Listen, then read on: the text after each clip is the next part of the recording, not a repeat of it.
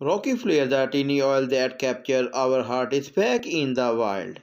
CNN, there may have been mixed feeling about the Rockefeller Christmas tree this year, but there was nothing of the sort for the tiny adorable oil that was found in it.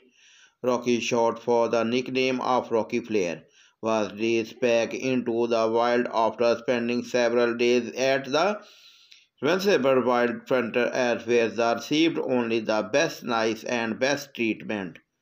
On Tuesday, the center announced that the veterinary oil expert is had been working with had cleared at all for takeoff. She was released Tuesday at dusk in a conifer forest in upstate New York.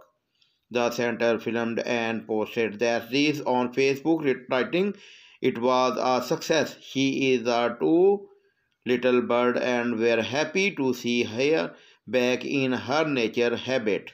The center wrote, We are sure that